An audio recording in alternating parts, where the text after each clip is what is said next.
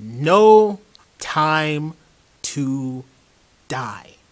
The new 007 movie, Bond 25. It's the 25th Bond movie. And I'm still excited for it. And I'm hearing all these things on the internet. People are saying, oh, yeah, this is just going to go for that hashtag Me Too movement. We're just trying to rank in the female audience and feminist agenda that's going around in Hollywood. You know, you look at what happened with Star Wars and Kathleen Kennedy and all this stuff. Now, Barbara Broccoli and, and MGM, they're doing it now. They're doing it with Bond because, you know, he was known as a misogynist and, and we can't have that in, in our movies anymore. You know what? I don't pay attention to that, really. I mean, I notice it because I'm a Bond fan.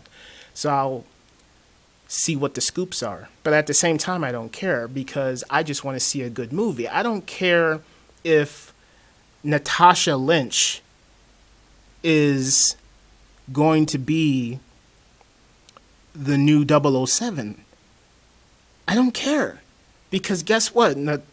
007 is a code name. And that can be passed on to anybody. Now, if they start calling her Jane Bond, then that's overkill. Don't do that. But if they call her 006, 007, that's fine with me because it's a code name. And then in continuity, Daniel Craig's Bond retired in Spectre. So it's like, well, we need a new 007. And she just got picked because I guess she's the deadliest assassin. So I hope in the movie they show her kicking some ass. In the trailers, we see her kicking some ass. And hopefully they illustrate that she is deadly, you know, she's sexy, and she can do it all, you know, like a equal to Bond. And we've had we've had female characters like that before with Xenia Onatopp, you know we've had characters that could compete with Bond, and they were female. So this is nothing new here. I don't know why people are freaking out. And then there's all this information about people reading the leaked script or something, and I'm not doing that. I don't want to be spoiled like that. I don't care about that. And then there are reports people are saying that Rami Malek is is going to be revealed as, as Doctor No in the movie, and I hope they don't do that. I hope they don't do that because they did that with Christoph Waltz. Christoph Waltz, In Spectre, was disguised as Franz Oberhauser. And it was revealed later on, I think in a clunky way, where it's like, oh yeah, you were adopted and my dad loved you more. And so I killed him. and then you and then you got taken away, and then I became a villain, and so they tie Blofeld and, and Bond together, and he's like, "You're talking to Ernst Stavro Blofeld." It's just it, I didn't like the way that was executed. And then he's responsible for all of his pain, and it's like the ending was goofy. Like Spectre, to me, is a visually impressive movie, but the the narrative of the story is just all over the place, and the action scenes are boring. I just don't care about that movie. The only Bond film that I truly care about is Casino Royale. Skyfall is a good movie. But to me it's like when you when I think about let's say Avengers Infinity War, I love that movie because it's dark, it's gritty, it has an interesting narrative, it's a race against the clock. I care about what's happening. I'm in the action sequences feel more than action sequences. I'm emotionally invested in these action sequences because I feel like there are real stakes. And then you look at Endgame, is just like a reg for me it's just like it's a good movie but it's just not as hard hitting as Infinity War. And so that's how I look at Casino Royale and Skyfall. I'm like Casino Royale, you watch that movie. You see Bond's face and all of these scars that follow him throughout the movie and that's what's fantastic about that is that you see Bond being gritty and he's going through all of these challenges and you can literally see the scars on his face as the movie progresses. And that's what this shows here in No Time to Die. So I feel like they're bringing that element back cuz in Skyfall I don't really think there are any scenes besides when he got shot and it was for a story plot, you know, you take the bullet out so they can analyze it. But other than that, I didn't really I think in Skyfall he just really seemed like oh he's like I'm clean, no bruises, you know, really, you know. But it had I feel like Skyfall had a really good narrative, and the story was interesting, and there was you know good emotional character development in that, and then on top of that, it was a very beautiful looking movie. Probably one of the best looking Bond movies ever made. And with No Time to Die, I feel like it's implementing the two styles. It's going back to the roots of Casino Royale, where Daniel Craig started, where he's going on these missions and he's getting wrecked. Like you see in the bridge scene, he's got all of this black tar on his face, and his suit is being all worn out because he's getting in fights and all that. So that looks great. I'm glad they're going back to that. And then and then it looks like it's going to the the essence of Skyfall of having this large visual scope where everything is just lavish and beautiful.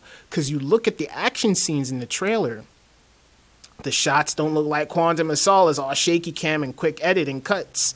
This looks like wide shot. You see everything that's happening. It's crisp, it's clean. This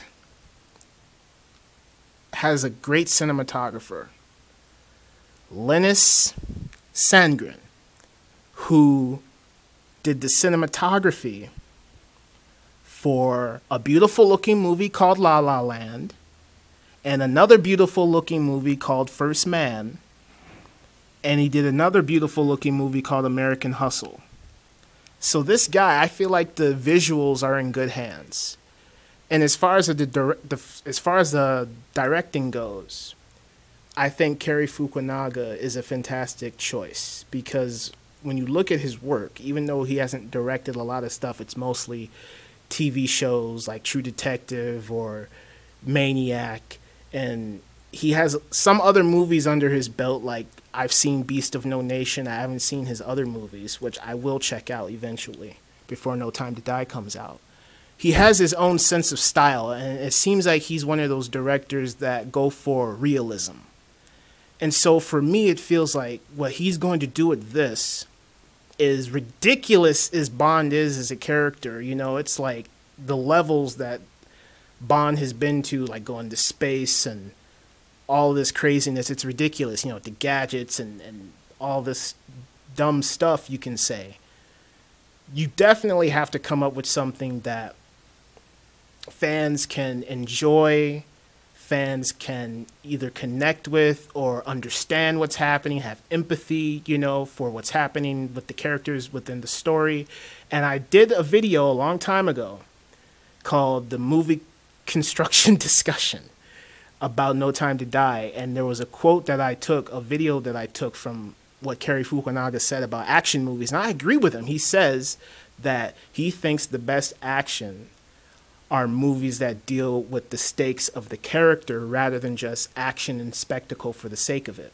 And I agree with that. So, him saying that, I believe in him. I believe in his vision and what he wants. And from the trailers, it seems like it's going to have that hardcore aesthetic to it. It's going to be hard hitting. The action is crisp. Like you see one action scene in the trailer where the car hits this log and it flips over Bond's head and Bond's shooting at it and it doesn't cut away. You see everything. That's probably green screen. I don't know. Or it's probably real. I can't really tell. But it looks good because it, it, it looks clean and crisp. So the visuals, you know this movie is going to be visually fantastic. And especially if they mesh the two best Daniel Craig movies, Casino Royale and Skyfall together. You know, bring that gritty aesthetic from Casino Royale into a lavish looking movie like Skyfall, you've got a winner on your hands. And with this cinematographer, Linus Sandgren, I think we're in good hands. And then Hans Zimmer as the composer. Honestly, I feel like right now Hans Zimmer is a cheat code. Hans Zimmer is a cheat code in Hollywood. He is like cuz he just did Wonder Woman and we and, and we all know how that turned out. But the music's always fantastic. He did X Men Dark Phoenix. We know how that turned out. But the music in there is awesome. So you know the music is going to kick ass. You know, because I feel I never really cared about music and movies, musical composers and scores until I watched The Dark Knight. But honestly, my mind was too young to understand. The first musical score I ever got into was The Fugitive with Harrison Ford. That score is amazing.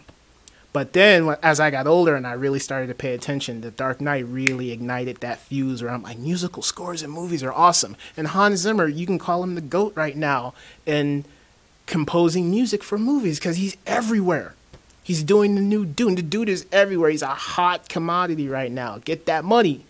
You know, do do what you love. Get paid to do it and but he honestly he just feels like a cheat code. Like i hear hans zimmer is the composer. I'm like yeah uh, the music is going to be dope but what about the story? You know what i'm saying? The music in movies to me can only enhance the narrative of the story if, if the narrative is already interesting. If the narrative's not interesting the music can make the scene look good or sound good but it's not going to get me emotionally invested fully you know? But i feel like all of the technical aspects are going to be amazing. Visually, we got a great cinematographer. Visually, we got a great director. So I feel like the narrative is going to be cohesive. It's going to have a lot of emotional beats to it. And the action is going to have meaningful emotional layers to it. It's not just going to be explosions and gunfire and random stuff like Spectre, where it's just explosions and gunfire and it felt boring. I'm sorry. Hopefully, this doesn't have that. I believe in these people here. I believe it's smooth. I'm not going to believe all that negative stuff. And the only thing that concerns me is all of the cooks in the kitchen as far as the writers go. I do feel a little concerned about that because, I mean, you look at movies like The Amazing Spider Man 2, you see too many writers on the project, you start to become concerned because of all of these ideas, you know. But I think that's also a good thing, and it can benefit the movie because not every idea is a good idea. Like one person can write a, a story beat, and then they think it's good, and then they run it in the writer's room, and then the other writer's like, uh, I like it, but can you switch this up? And then you switch it up, and then you see it in, from a different perspective. So it's good to collaborate. Hopefully, all of these people collaborated and they agreed as a unit on the ideas in this movie and then hopefully Cary Fukunaga, you know, took those ideas and brought them to life in an in a in a impactful way. So I'm excited. I'm excited. Like I know visually it's going to be great. Music is going to be great, obviously. and then it, I don't know about the performances though. We'll see because the trailers don't really give too much away, which is what I like. I don't know what's going to happen. I don't know what it's about because I haven't read the script I haven't learned about all the spoilers and stuff. The only spoiler that I found online was what Safin, who is played by Rami Malek, I read about what he's supposedly doing. He's creating clones or something. And so he's making clones of people, and there's supposed to be a clone of Madison, who is, Ma- I mean, Madeleine Swann is supposed to be a clone of her that Bond's supposed to be protecting, but then I also heard he could be protecting like his daughter since he's been retired for so long. He has a child, which sounds interesting. It sounds that adds way more emotional weight to it. And then another thing with the lady who plays Madeleine Swann, I heard on the internet that you know, because the final cut of the movie has been done. It's been supposed to come out, but it hasn't because of lots of things. And she saw a final cut of the movie and she cried. That got my enthusiasm higher a little bit, but at the same time, she's an actor in Hollywood. This is a movie she stars in. Of course, she's going to say good things about it. What do you think a person's. You know what? Like, I want to see a movie that's like a comedy on Hollywood where you got a, a person who is starring in a movie but they think it's trash and then they're doing interviews and they're supposed to promote it but they're like no this movie sucks. I just did it for a paycheck. Because you always usually get a lot of actors who come out later in life and then they admit like the reason why they were in the movies they were in. I don't think someone's going to come out as they're promoting their movie and it's about to be released and they come out and say nah it's trash I really didn't like it. I don't think so. But I'm not, you know, I don't. She could, gen- she can sincerely feel that way, and I hope she does, because I'm really excited about this movie. It's supposedly Daniel Craig's final Bond movie, but never say never or never say never again. I haven't seen that Bond movie, but I'm excited because it sounds like it's going to be good because of all of the elements and all of the cooks in the kitchen and all of the things at play here. I don't think this movie can lose, man. It just can't. It just can't lose. It can't. If this movie if this movie I'm so excited for this movie. It's my most anticipated movie of 2021 because I've been looking forward to this since forever. If this movie sucks, I'm going to be so disappointed. And this is Daniel Craig's final Bond movie and Spectre was a bit of a letdown. And I was so excited for Spectre because I enjoyed Skyfall. Like this is how I look at. This is how I'm I'm gonna rank Daniel Craig's movies right now, uh, Bond movies. It's Casino Royale's number one, Skyfall's number two. Number three, I gotta give it up to Quantum of Solace because there is some awesome fight fighting sequences in that movie. And I like the gritty aesthetic. I feel like it's a bit darker and more grittier than Casino Royale, but the narrative is just kind of I don't know, not that interesting to me. And then like yeah, the choppy editing and all that stuff. But it has some hard hitting action sequences in there. And yeah, Spectre, the last one. And I don't know where we're gonna place No Time to Die. I would love to place it either right next to Casino Royale. Like I'm really hoping Daniel Craig gets to bow out gracefully with this, where it's like this is a hard hitting Bond movie and all of the fans love it. You know, no mixed reviews, please. No mixed reviews, no negative reviews. Like, have like 90% on Rotten Tomatoes, at least 90%. And it's just all across the board. Everyone's like, this movie's fucking amazing. The action sequences are amazing. You know, this this can turn Cary Fukunaga into the next Christopher Nolan.